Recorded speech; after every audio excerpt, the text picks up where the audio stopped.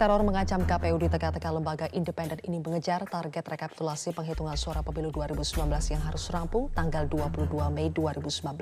Bagaimanakah ancaman teror pada KPU baru-baru ini? Semakin mendekati tanggal 22 Mei ini semakin bertambah uh, terduga teroris yang ditangkap oleh tim Densus 88. Polisi ini mengatakan mereka ini berencana meledakkan bom di tengah kerumunan massa di KPU pada tanggal 22 Mei nanti. Jadi secara mendasar memang dari mindset teroris dan kelompok radikal ini, pemilu uh, dan demokrasi itu adalah musuh paling besar, setan besar. Hmm. Dan untuk itu jihad digelorakan.